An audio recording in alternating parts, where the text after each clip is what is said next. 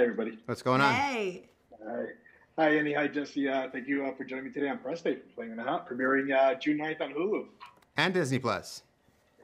and Disney Plus. That's right. Yeah. Uh, exciting times. You know, the trailer's been dropping and everything. Uh, I love the movie. I watched it last night. I love the storyline, the comedy in there. Uh, what are you hoping for when uh, the viewers tuning to watch this? What are you hoping to get out of this film? Well, man, I, I just think I want people to have a good time watching it and learn a couple things about Richard and Judy, uh, to see you know their love story and how um, because of their love story, the world got Flamin' Hot Cheetos. Annie, what's your thoughts on this? Yeah, I, I, I want people to be inspired, um, to remember that they're their own heroes. Um, and yeah, and just to enjoy themselves. It's such a beautiful story. It's such a such a beautiful story. So we see you as uh, Richard and Judy. Uh, how was it connecting with these characters, and what kind of research did you put to to attack these?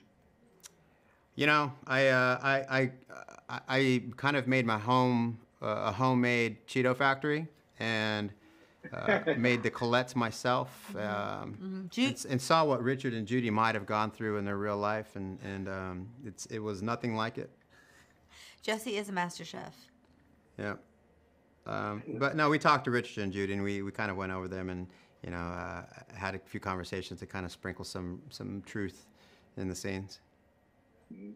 What uh, what did you love about these characters, and uh, how much fun did you have playing them? Oh my goodness. I, what I loved about them is they reminded me of my tias, of my mom, of everybody that I grew up with that raised me. And it was such a joy to go in there and and bring it to life and play with these beautiful artists that I now get to call my friends like Eva and, and Devon and and everybody on that set and Jesse. God, you're so brilliant, Jesse. I love you. Are we friends?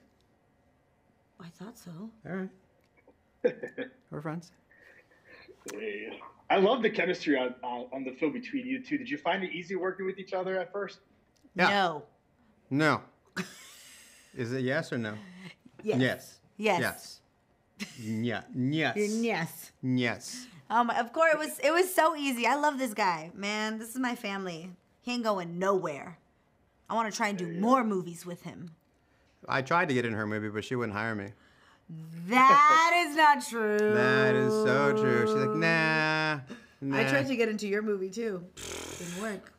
Yeah, I wasn't a producer on it. Well, All right, here's the beef right now. You got the Wow. you got the Speak- exclusive. speak- speaking of speaking of director and uh, producer, also Eva Longoria, how was it working with her? Uh, what was the best advice she gave you both working on this film? Don't fucking be late. Don't be late because we're gonna still be a moving train. And don't be lollygagging in the makeup trailer because we're gonna we're gonna shoot this movie without you. yep. Yeah. That was literally yeah. Yeah. And I loved it. Kept us on our toes. Yeah. Yeah, it's amazing. I want to thank you both for giving two minutes today for Press Day, uh, June 9th on Hulu and Disney Plus. Uh, can't wait for everybody to check it out. Thanks, brother. Thank you. Have a great day. Thank Yeah. you. Bye. Bye.